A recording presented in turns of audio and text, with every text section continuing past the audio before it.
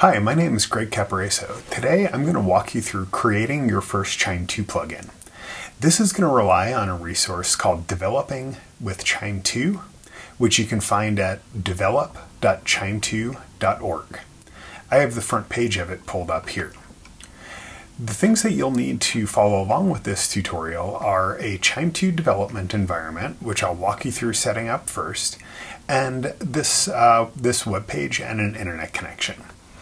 Um, so the first thing I'm going to do after navigating to develop.qiime2.org is I'm going to set up my development environment. And so you'll see this box right up here. Um, that's going to take me to another page in this Jupyter book. Um, now, I already have these prerequisites installed, and so this requires Miniconda, which you would have used in the past to install QIIME 2, um, and then it uh, uses wget, which will help you download files. Um, so I'm running on a Mac OS with an Apple Silicon chip, and so I'm going to select that um, from this box over here. Um, and what I'm doing is I'm creating a QIIME 2 development environment using the Tiny distribution, the QIIME 2 Tiny distribution. So I'm going to copy all that, and you can see when I do that, I get some feedback that tells me that I copied the text from that box. I'm going to go over to my terminal, and I'm just going to paste that in. And this is just going to run for a few seconds while it downloads and installs the development environment. While it's doing that, let me take a minute to show you around developing with QIIME 2. So developing with QIIME 2 is a Jupyter book, and as of this recording on April 17th, 2024, it's still in very active development status. The most useful content that you'll find, or I should say the most complete content that you'll find in here will be the plugin development tutorial. And so you can see here, tutorial, a step-by-step -step guide to building your first QIIME 2 plugin. That's where we're going to start today. Developing QIIME 2 is written uh, based on the Diataxis framework for creating technical documentation. What that means for you is that you can expect the book to be broken into different chapters um, that are either tutorials, how to guides, explanations, or references. Uh, tutorials will provide a guided exploration of a topic for learning. A how to guide is going to provide step by step instructions on accomplishing a specific task. Explanations provide background information on understanding a specific topic, and reference provides reference material. You'll also find that the book is broken down into different segments depending on what aspect of QIIME 2 development you're interested in. So if you're interested in building QIIME 2 plugins, you really only care about the plugin development or the plugin part of this book. And if I expand that, you'll see that I'll find tutorials, how-to guides, explanations, and references. If you're interested in building QIIME 2 interfaces, you only need to focus on the interface section, um, and you can see that this is in an earlier stage of development. Um, so at this point, um, like I mentioned before, the plugin development is the real focus of this book, but it's continuing to expand um, and it should be getting more complete every day. Okay, so if I switch back to my terminal, I can see that my QIIME 2 Conda environment has activated. Um, and so I'm just going to go ahead and copy that, or I'm sorry, my QIIME 2 development environment has installed. Um, and so now I'm just going to go ahead and I'm going to activate that and I'm going to call QIIME Info. Um, when I do that, you see that I get some information about the versions of Python and the versions of QIIME 2 that are installed. Now I'm going to jump into this tutorial um, and you should take some time and read all of this content, but I'm just going to quickly walk you through creating your plugin from a template. The first thing you'll need to do that uh, to do to do this is install the cookie cutter tool. Um, I'm just going to copy and paste that command. That's going to use pip to install cookie cutter.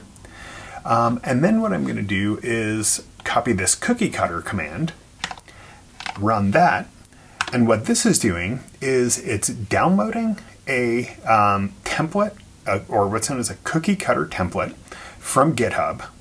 Um, and it is um, going to then prompt me for some information that it will use to create my plugin from this template. And so you'll see at this time there's eight questions that'll be asked. Um, and so I'm just going to go through these. I'm going to call my plugin Q2 Greg. Um, the module name, which is a Python identifier, is then going to be Q2 underscore Greg. Um, and then the plugin name, which is usually a shortened version of the package name, is just going to be Greg.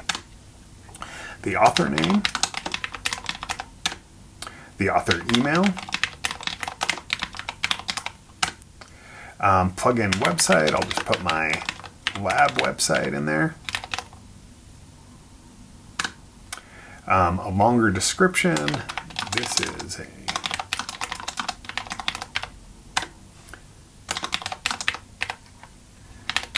and a shorter description.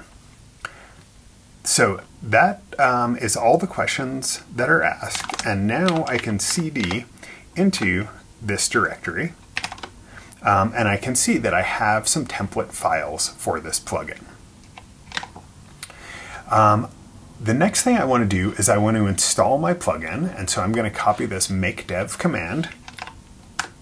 I'm going to run that and it's telling me that it successfully, uh, it successfully installed Q2 Greg. Um, then I'm going to run QIIME Dev refresh cache. If you've done any QIIME 2 plugin development, you have no doubt run into that command before. That is just letting the command line interface know that something has changed in this deployment. Um, and then I'm going to run QIIME Info. And you'll recall I did that just a minute ago um, you'll see now if you compare what I had before, um, uh, to, compared to what we had before, there's a new plugin here called Greg. The next thing I'm going to do is I'm going to run the unit tests for this plugin, and I'm going to do that by calling make test. This will take just a couple of seconds to run, and you can see that two tests passed. Um, now, as part of this plugin, um, I include a demo action. And so if I call qiime greg dash dash help, um, you'll see that there's an action in here called duplicate table. And so let me call duplicate table dash dash help. And you'll see the help text that's associated with this. Now this is a pretty silly little action. All it does is it takes a feature table as input and it creates a new feature table as output. So just a simple copy of that. You'll want to delete this action from your plugin, but it's a good way to get started. Um, so again, I'll just call qiime info and I'll see that I have my plugin. Um, the, that basically wraps it up for creating this first plugin. Um, if we take a look um, at this directory, I'll have to apologize for my dog, who is apparently not very enthusiastic about this video. Uh, if I open the File Explorer there, I'll see that I have this Q2 Greg plugin directory. Um, there's a README that gets stubbed out in here that has some information um, that we were prompted for in the beginning. Um, and then a lot of that information also ends up in the uh, plugin setup.py file. I won't spend time going through this in detail in this book or uh, in this video, but if you go through the tutorial, um, what that will do is it'll follow along from what we just did to creating a first real method. So we'll replace that duplicate action. Um, then we'll add a first visualizer. Then we'll define a new artifact class. And so that includes a semantic type, a transformer, and a, uh, a couple of formats. Then we add some usage examples, we add another transformer, we create a first pipeline, um, and then that's where this wraps up at the moment, but like I said, this is a work in progress, so you can expect more content soon. Okay, I hope this helps you get started with QIIME 2 plugin development. As you jump in, if you have any questions, please feel free to reach out to us in the developer discussion on the QIIME 2 forum. Thanks so much and happy developing.